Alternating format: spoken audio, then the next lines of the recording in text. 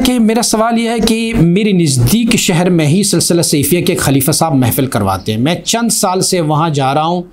इब्तदाई वक्त में मैंने उनके हाथ पर बैत होने की गुजारिश की तो उन्होंने फरमाया कि इस्तारा करो कि आपका यहाँ बैत होना दीन दुनिया के लिए बेहतर है। तो उसी सस्ती में मेरा वक्त गुजरता रहा और इस्तारा नहीं कर सका। लेकिन मैंने महफिल में आना जाना ना छोड़ा।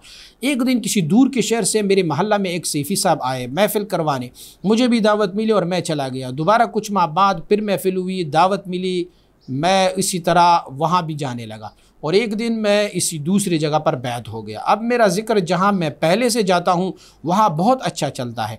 मुझे उनके पास बहुत लज्जत मिलती है और इनके सोबत में बैठते बैठते मैं हाफिज़ बनना शुरू हो गया था। आगे आलिम बनने का मुकम्मल इरादा है, हालाँकि मैं कभी सोच भी नहीं सकता था कि मैं भी कभी आलिम या हाफिज़ बनूँगा। और मेरी ज़िंदगी मुकम्मल तब्दील इससे पहले वाली खलीफा साहब, जिन्होंने कहा था कि इस्तारा करो उनके पास बैठ बैठ के सही ज़िंदगी बन रही है। लेकिन मैं मुरीद दूसरी जगह हो बैठा हूँ और मेरी ये दूसरे वाले पीर साहब कई कई माह बाद आते हैं। मुझे यहाँ से वो तरबियत भी नहीं मिल रही है, जैसे मुझे पहले वाली खलीफा साहब से मिलती थी। अब मेरे इसबाक भी ज़्यादा नहीं चलते। और ये वाली सोहबत भी मुझे फ़ायदा नहीं देता और मुझे दिल्ली मोहब्बत और लगाव भी उनसे बहुत हो चुका है। तरबियत का अंदाज़ भी बहुत अच्छा है। तब्दील कर सकते हैं या मैं उनके पास मुरीद या होना चाहता हूँ तो क्या हो सकता है? बर मेहरबानी मेरे मुकम्मल सवाल का मुकम्मल जवाब और लाजमी और जल्द इनायत फरमाएँ।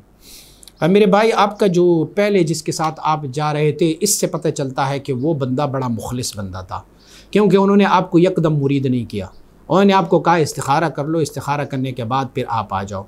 लेकिन मैं आपको ये तंबी करना चाहता हूँ कि जब आपका दिल और कल्ब जो है, वो किसी एक जगह पर मुतमिन हो जाए और वहाँ पर आपको सुकून और लज्जत भी मिले, वहाँ पर आपको हयात कलबी में मिल जाए तो फिर आप दूसरी शेख के पास क्यों जाना चाहते हैं? बहरहाल, जो भी बंदा दूर से आया और आप उनसे बैत हुए अगर उन्होंने आपको ज़बरदस्ती बैत किया होगा तो आपकी बैत वहाँ पर ठीक नहीं है। लेकिन अगर आप अपनी दिल की मोहब्बत से वहाँ पर बैत हो गई हो तो फिर तो आप वहाँ बैत हो गई हो। ये जब आप एक दफ़ा एक शख्सियत से बैत हो जाएँ तो अगर आपकी मोहब्बत किसी दूसरी शख्स से हो जाए, तब भी आप अपनी इस मुर्शिद को छोड़िएगा नहीं।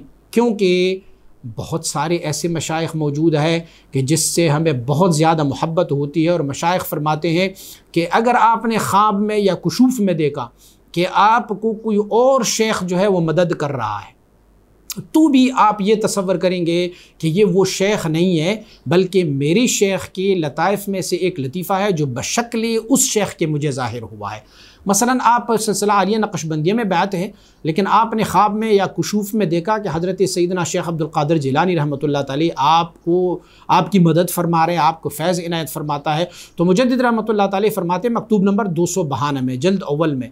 आप इरशाद फरमाते हैं कि आप जो है चूँकि आपकी मोहब्बत सईदना शेख अब्दुल कादिर जेलानी रहमत से ज़्यादा है तो आपका शेख इतना शफीक है कि उसने अपनी अपनी मुरीद की मोहब्बत को ठुकराया नहीं, बल्कि अपने लताइफ को शेख अब्दुल कादिर जेलानी रहमत की सूरत में डाल के अपनी मुरीद के सामने हाजिर हुआ है। तो सबसे पहले तो आपको वहाँ ब्यात नहीं करनी चाहिए। अगर उन्होंने इकरा और ज़बरदस्ती से आपको ब्यात किया है तो आप वो ब्यात छोड़ दें।